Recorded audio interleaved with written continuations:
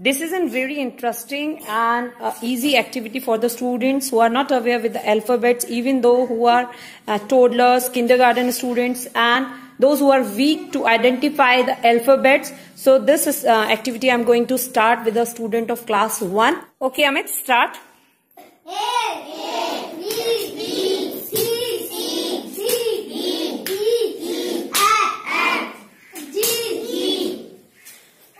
Very good.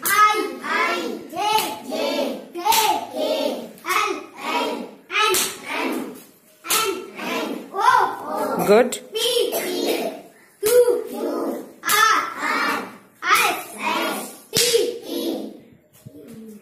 Don't tell. Okay. U, U, Very good. V.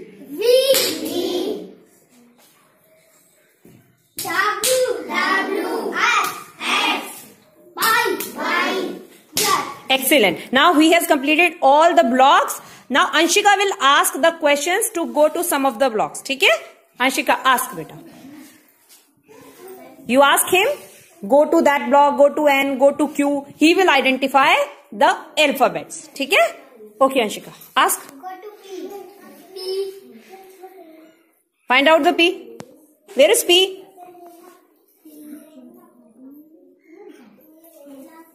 Don't tell. Very good. Go to S.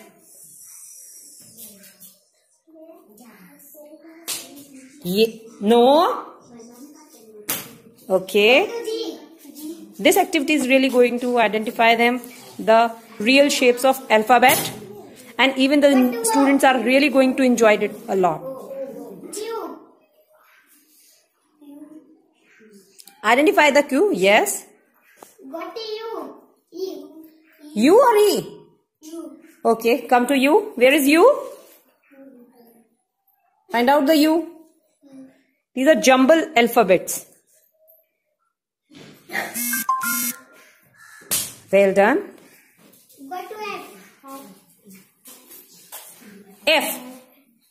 F for fish.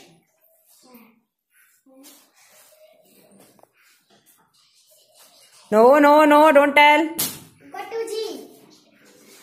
Go to G. Well done. Now you need to repeat this activity again and again. You will definitely going to learn all the alphabet. Okay? Go to N. Okay? Yes or no?